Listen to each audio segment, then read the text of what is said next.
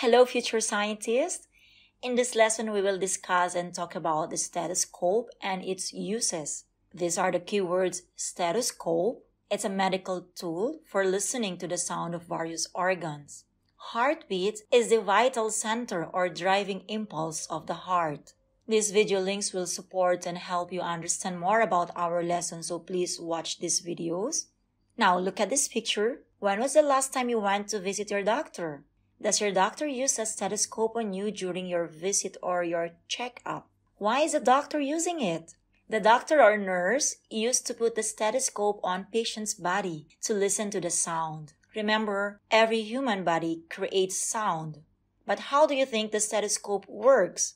Will the sound be louder or quieter through the stethoscope? We will find out how does the stethoscope helps us to hear the sound waves of human body. We hear when sound enters our ears. Sometimes we need help to hear some sounds. Doctors use a stethoscope to help them hear your heart beating. Stethoscope is a medical instrument for listening to the action of someone's heart or breathing. And using a stethoscope to hear sounds is called auscultation. Now let's talk about what a stethoscope can do.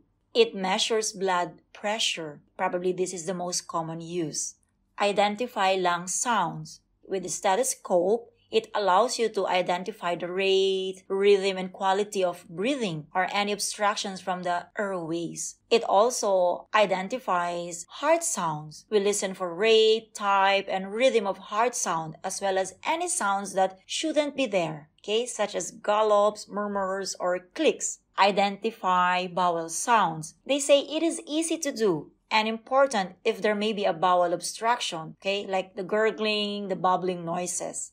Also, stethoscope is used to measure the size of the liver. Usually, this is done with percussion, like tapping the belly. When you are over the liver, the sound will become more dull. Okay, also hearing aid for physician or the doctor to hear. Okay, the patient communication, the stethoscope makes a nice hearing aid with hearing impaired patients. Okay, and finally, detecting abnormal blood flow. Okay, the bruit is an abnormal whooshing sound of blood through an artery that usually indicates that the artery has been narrowed. Usually can be detected in the neck, kidneys, and temporal arteries. Doctors put the ear tips into the ears and listen to the sound. But how does the sound amplifies through the tube? The stethoscope has two different heads to receive sound. This is the bell and the diaphragm. The bell is used to detect low frequency sounds like some heart murmurs and some bowel sounds. The diaphragm is used to detect high frequency sounds like breath sounds and normal heart sounds. Now you can make your own stethoscope using these materials, funnel, cardboard tube, like the one from your kitchen towel or aluminum foil and tape, and then put this together and use your stethoscope to listen to a partner's heartbeat. Okay, the flat surface of the diaphragm is connected with a tube that is directed to the ear of the stethoscope. Okay, just try it. Now, what did you hear? Did you hear sound of the rustle of clothing? Because you cannot find a heartbeat. But what is the sound of the heartbeat like? Does it sounded like a drum? Now let's understand how the disc and the tube of the stethoscope amplify small sounds such as the sound of a patient's lungs, heart, and other sounds inside the body, making them sound louder. The amplified sounds travel up the stethoscope's tube to the earpieces that the doctor listens through.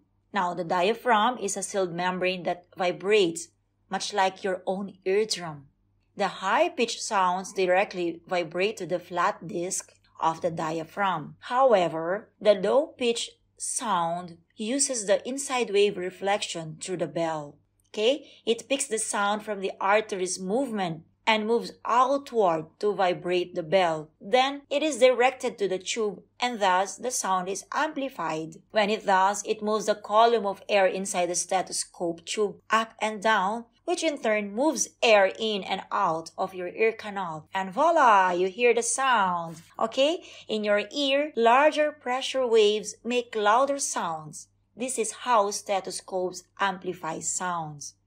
This sense of hearing is very important. All day we listen to lots of different sounds like birds singing, top running, your mom talking. A diary is a daily record of personal activities or observations kept at frequent intervals. You can also make your own diary just like Lynn. She drew pictures and wrote words about what she heard from the time she woke up to going to school, when she's at home, and even in bed. Okay, this could be a fun activity where you can compare with your partner's diary, discuss and share the similarities and differences between your diaries.